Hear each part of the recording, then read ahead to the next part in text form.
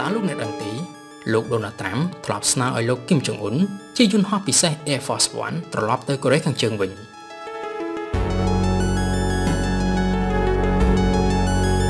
អតីតប្រធានាធិបតីអាមេរិកលោកដូណាល់ត្រាំបានស្នើឲ្យលោកគឹមចុងអ៊ុនជាយន្តហោះពិសេស Air Force One ត្រឡប់ទៅកូរ៉េខាងជើងវិញក្រោយពីបញ្ចប់កិច្ចប្រជុំកំពូលនៅក្នុងទីក្រុងហាណូយរបស់ប្រទេសវៀតណាមកាលពីឆ្នាំ2019កន្លងទៅ នេះបើយោងតាមការដកស្រង់ការចេញផ្សាយពីសារព័ត៌មាន BBC នៅព្រឹកថ្ងៃច័ន្ទទី22ខែកុម្ភៈឆ្នាំ2021សារព័ត៌មាន BBC បានធ្វើសេចក្តីរាយការណ៍បែបនេះដោយផ្អែកទៅលើការបង្ហើបពីលោក Matthew Pottinger ដែលជាអតីតទីប្រឹក្សារងផ្នែកសន្តិសុខជាតិរបស់សហរដ្ឋអាមេរិកបើតាមលោក Matthew លោក Donald Trump បានដឹងថាមេដឹកនាំកូរ៉េខាងជើងលោកគឹមចុងអ៊ុនបានចំណាយពេលជាច្រើនថ្ងៃដើម្បីជិះរថភ្លើងពិសេស ចេញពីកូរ៉េខាងជើងទៅកាន់ទីក្រុងហាណូយ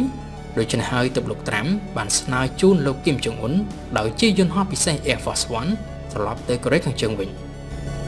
ខ្ញុំអាចជូនអ្នកត្រឡប់ទៅផ្ទះវិញបានដោយប្រើពេលត្រឹមតែ2ម៉ោងតែប៉ុណ្ណោះប្រសិនបើអ្នកចង់នេះគឺជាការលើកឡើងរបស់លោក Donald Trump បើតាមលោក Matthew Pottinger